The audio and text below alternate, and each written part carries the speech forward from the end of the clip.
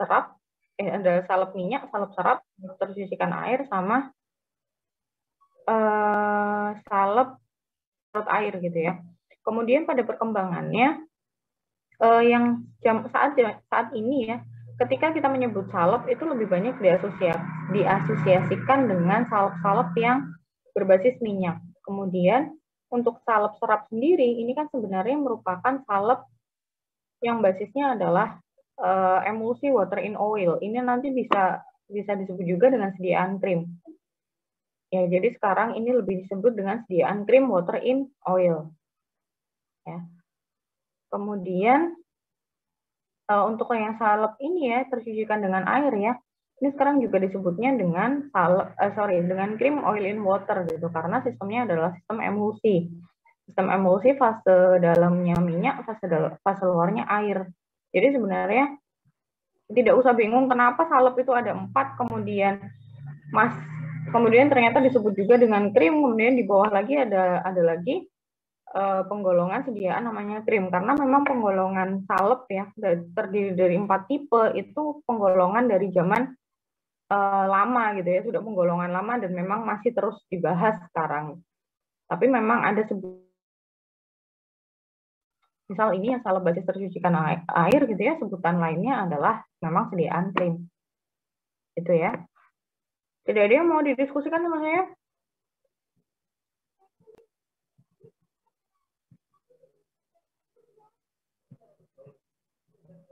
Kalau nggak ada yang mau bertanya, saya yang bertanya.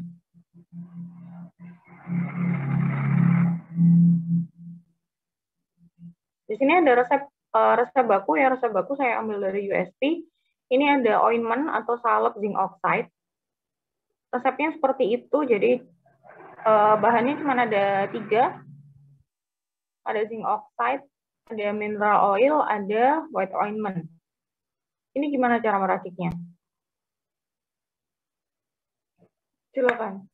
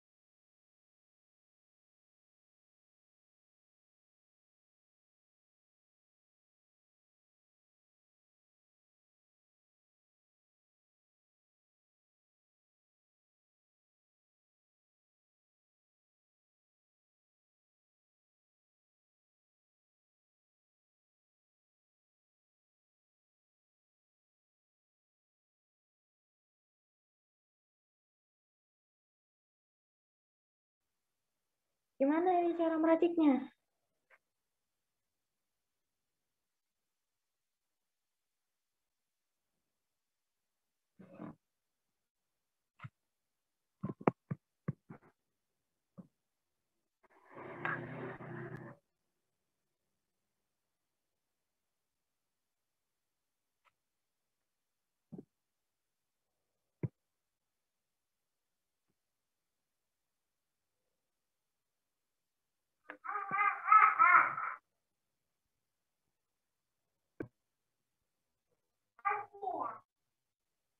four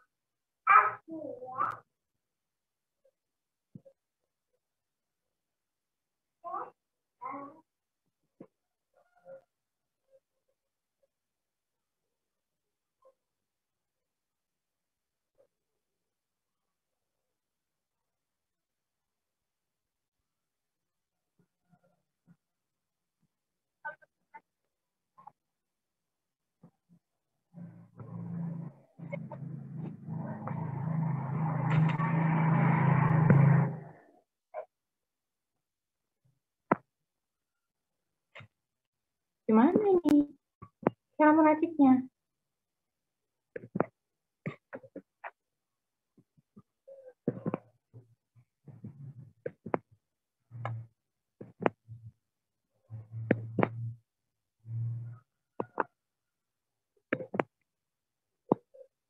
Silahkan dicoba. Kalau misalnya kalian tidak mencoba, kalian nggak tahu benar apa enggak. Walaupun nggak masalah.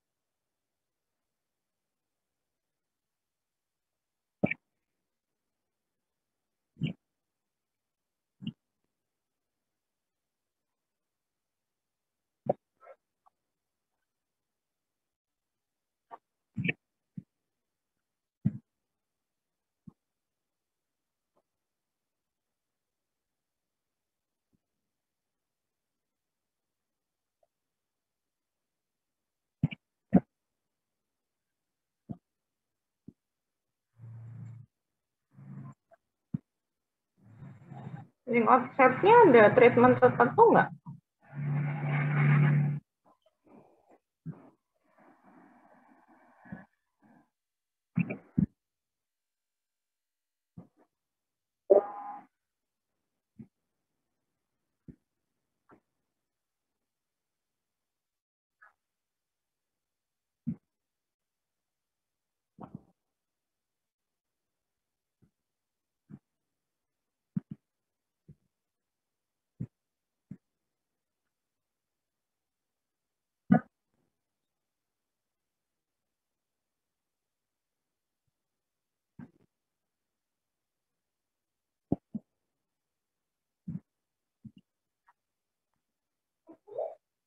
Jadi diayak dulu baru ditimbang atau ditimbang dulu baru diayak?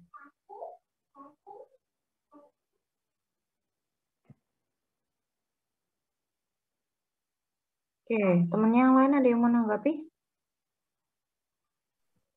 Izin menambahkan.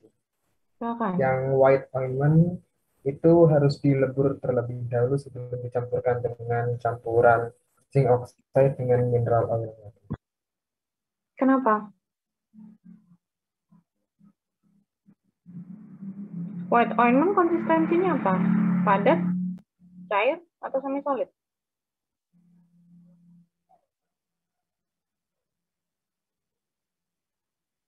Salah putih. Semi jawab dulu, semi solid. Hah? Semi solid, Bu. Semi solid. Kalau misalnya sediaannya, eh sorry, kalau misalnya semi solid butuh peleburan apa enggak?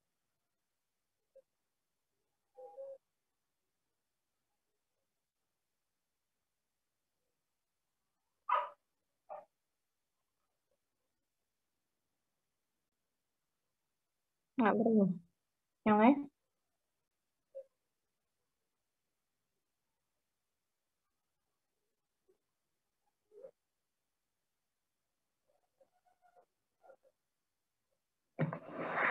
Yang lain gimana? Masih ingat pada saat praktikum preskripsi ada ada resep salep 24 salep 24 ada basis vaselin album, eh vaselin plafum. Semi solid. Kayak pelemburan apa enggak?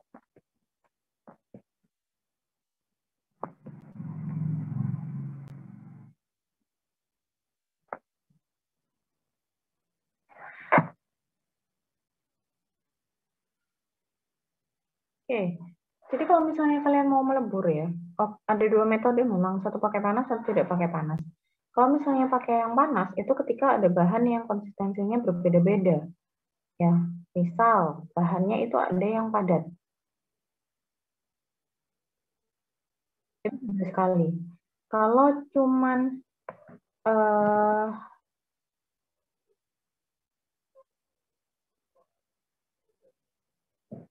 kalau cuma sediaan semi solid gitu ya, kalau misalnya basis yang di situ ada yang semi solid, itu nggak butuh peleburan, walaupun di situ ada mineral oil cair ya. Tapi mineral oil cair itu dalam konsentrasi yang lebih dikit, lebih sedikit daripada vaselinnya, itu biasanya masih bisa tercampur. Ya, kuncinya ketika kalian pakai uh, metode yang pakai panas atau metode yang fusion, itu adalah ada basis atau ada minyak yang bentuknya padat wajib. Kalau padat wajib harus dilebur. Jadi uh, gitu ya tadi ya peracikannya yang offset diayak kemudian ditimbang jumlah yang dibutuhkan kemudian digerus ditambahkan sama mineral oil gerus atau mungkin gitu ya. Karena kalau misalnya untuk peracikan uh, sediaan semi solid terutama untuk bahan-bahan yang tidak terlarut dalam basis ini kan tidak terlarut dalam basis ya ini tuh tidak terlalu dalam basis nih tim offsetnya. Ya yang terdistribusi. Kunci utamanya supaya tidak mengiritasi pasien supaya tidak uh, supaya nyaman digunakan di kulit adalah dia harus digerus sangat halus. Ketika sudah tercampur dengan white ointment baru eh ketika sudah campur dengan mineral oil baru bisa ditambahkan dengan white ointment. Ya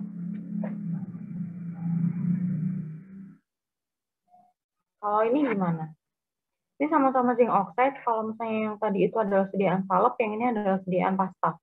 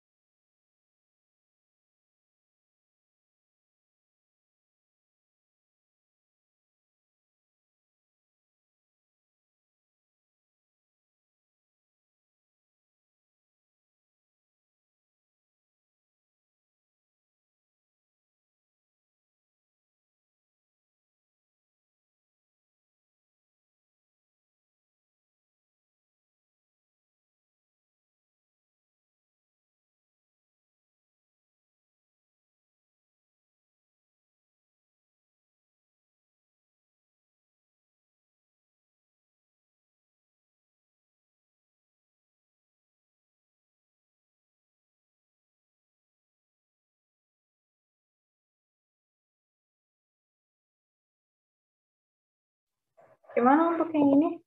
Racikannya? Sediaan pasta.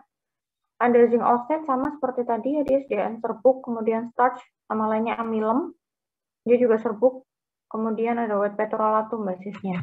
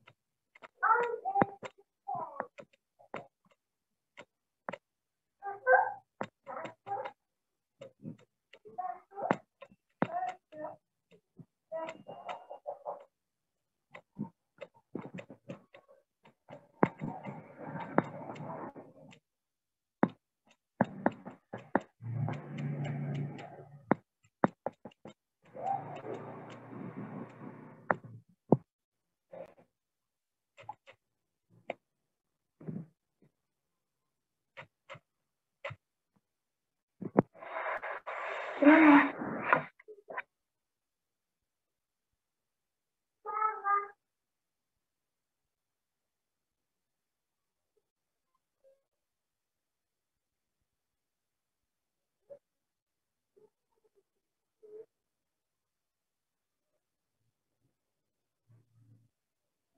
Gimana cara perhatikannya?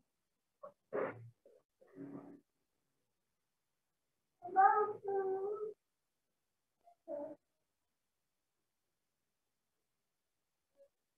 Uh, izin menjawab, Bu. Hmm. Mungkin uh, bi misal bisa dengan uh, itu zinc oxide ditambahkan dengan start, kemudian ditambahkan sedikit demi sedikit dengan white petrolatum, atau zinc oxide ditambahkan sedikit demi sedikit dengan white petrolatum, kemudian start juga ditambahkan sedikit-sedikit dengan petrolatum, baru kemudian dicampur keduanya. Mungkin itu saja. Yang lain? Anda masukkan?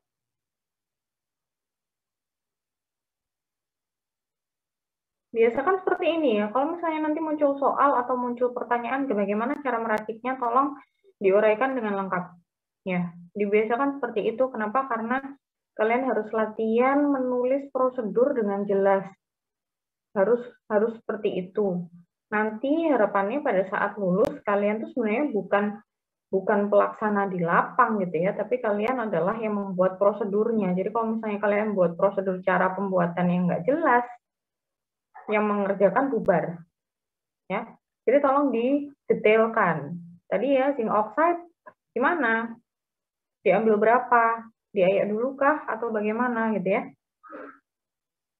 Coba ada yang bisa menambahkan? Uh, permisi izin menambahkan Bu. Hmm. Uh, jadi zinc oxide itu diayak dulu, dilakukan pengayakan sebelum ditimbang. Kemudian uh, zinc oxide dicampur dengan amilum dan diaduk hingga homogen menjadi uh, konsistensinya jadi pasta. Kemudian white petrolatum dileburkan dan ditambahkan ke dalam campuran zinc, zinc oxide dan diaduk hingga homogen. Kalau petrolatum dia konsistensinya apa? Sama lainnya apa sih petrolatum putih?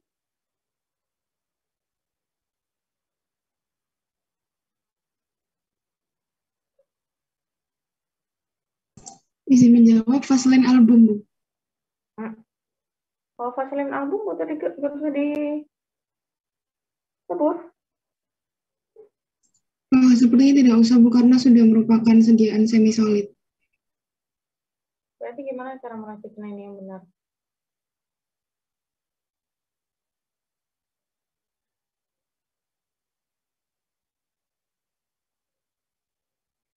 Zinc oxide, oke, okay. di, diayak dulu, kemudian ditimbang sejumlah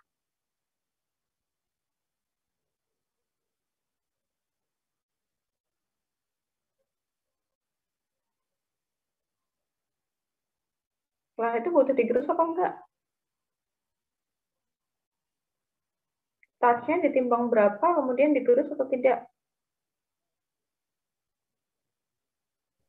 Uh, sebelumnya setelah diayak, ditimbang sebanyak 250 gram, kemudian digerus bersama amilum, Bu. Amilumnya berapa gram? Yes. Amilumnya 250 gram. Oke, kemudian?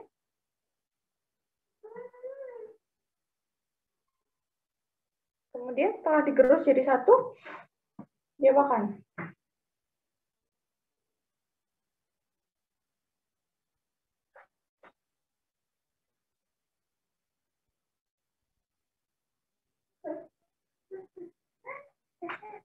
Aku, aku, aku, dia makan.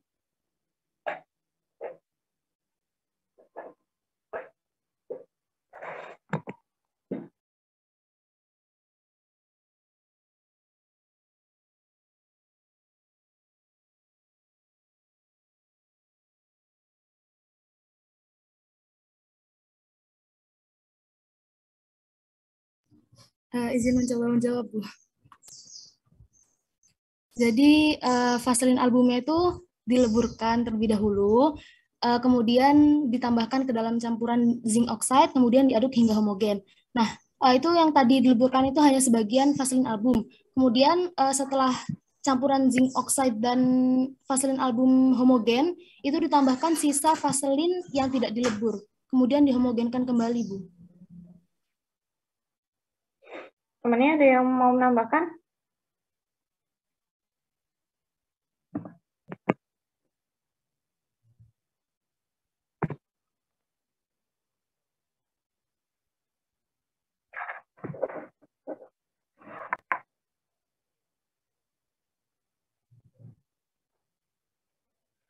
Vaselin album tidak butuh dilebur ya, apa pun kondisinya. Apalagi ini cuman cuman vaselin album sendirian gitu kan, nggak ada bahan-bahan lain.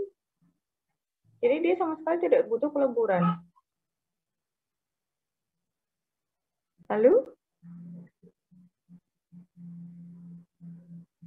Oke, okay, zinc oxide sama start tadi dicampur jadi satu, kemudian digerus gitu ya. Oke, okay, it's okay. Terus kemudian ditambah ke campuran bahan tersebut, campuran serbuk tersebut ditambah ke vaselin album sedikit demi sedikit.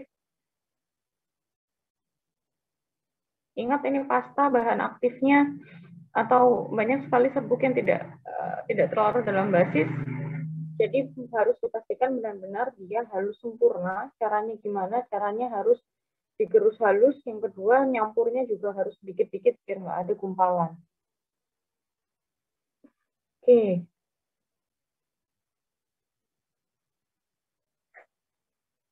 Sampai sini ada yang mau didiskusikan lagi sama saya?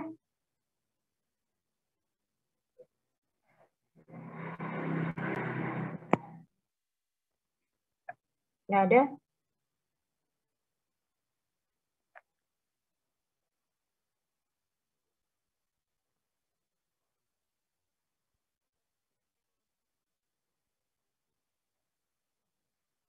Ya ada? Oke, kalau nggak ada mungkin saya hari di sini ya. Silakan dipelajari lagi.